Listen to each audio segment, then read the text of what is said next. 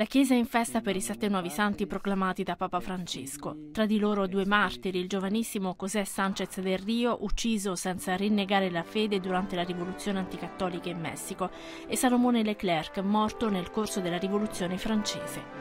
Due i sacerdoti italiani, Lodovico Pavoni e Alfonso Maria Fusco, poi la mistica francese Elisabetta della Santissima Trinità Catez, il vescovo spagnolo di Palencia Manuel González García e infine il cura Brocero sacerdote argentino caro a Papa Francesco. Nella messa celebrata in piazza San Pietro, il pontefice ha ricordato che i nuovi santi sono tali anche in virtù della preghiera che ha segnato la loro vita, ricordando la fatica di Mosè nel tenere le braccia alzate nella battaglia contro Amalek, il Papa ha evidenziato che l'impegno della preghiera richiede di sostenerci l'un l'altro, ma è necessaria una preghiera insistente, non sporadica o altalenante. Restare saldi nella preghiera vuol dire essere saldi nella fede e nella Chiesa. Gridare, ha detto il Papa, non stancarsi e se ti stanchi chiedere chiedere aiuto per tenere le mani alzate. È questo il mistero della preghiera, che non è rifugiarsi in un mondo ideale, ma lottare fino al limite e non da soli, perché il Signore vince con noi.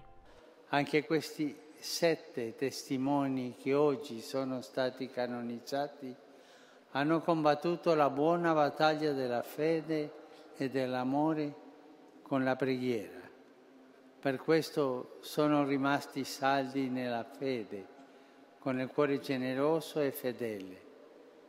Per il loro esempio e la loro intercessione, Dio conceda anche a noi di essere uomini e donne di preghiera, di gridare giorno e notte a Dio senza stancarci, di lasciare che lo Spirito Santo preghi in noi e di pregare sostenendoci a vicenda per rimanere con le braccia alzate finché vinca la divina misericordia.